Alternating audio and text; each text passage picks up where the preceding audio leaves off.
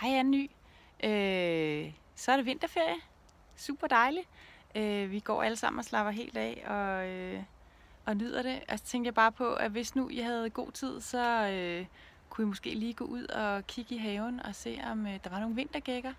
Altså her hos mig i øh, mit sommerhus, der er der ikke så meget... Øh, der er ikke så mange øh, ting på vej nu, men hvis nu man lige kigger her,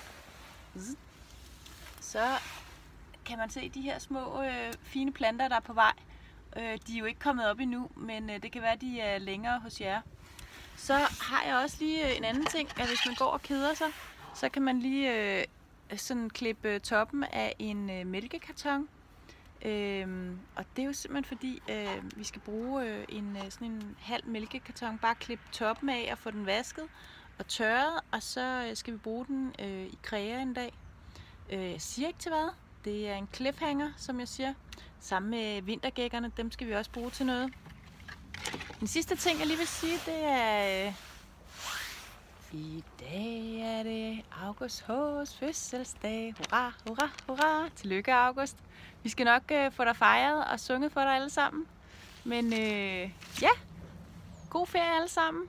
Hej hej.